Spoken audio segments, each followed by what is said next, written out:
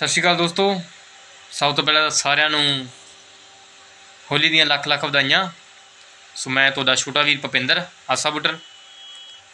ਤੇ ਆਪਣਾ ਗੀਤ ਆਇਆ ਸੀਗਾ ਹਿਸਾਬ। ਤੁਸੀਂ ਬਹੁਤ ਪਿਆਰ ਦਿੱਤਾ।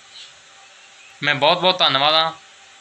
ਮੇਰੇ ਜਿੰਨੇ ਵੀ ਦੋਸਤ ਜਿਨ੍ਹਾਂ ਨੇ ਗਾਣਾ ਸੁਣਿਆ ਤੇ ਜਿਹੜੇ ਪਿਆਰ ਦੇ ਰਹੇ ਗਾਣੇ ਨੂੰ। ਤੇ ਵੱਧ ਤੋਂ ਵੱਧ ਸਪੋਰਟ ਕਰਨਾ ਬਾਈ।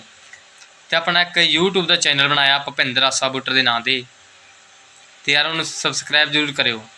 ਮੈਂ ਬਹੁਤ ਬਹੁਤ ਸ਼ੁਕਰਗੁਜ਼ਾਰ ਹਾਂ ਬਾਈ ਲక్ష్మణ ਆਸਾ ਬੁੱਟਰ ਸਿੰਗਰ ਬਲਜੀਤ ਕੀਤੀ ਤੇ 뮤직 ਡਾਇਰੈਕਟਰ ਸੇਮ ਵੀਰਾ।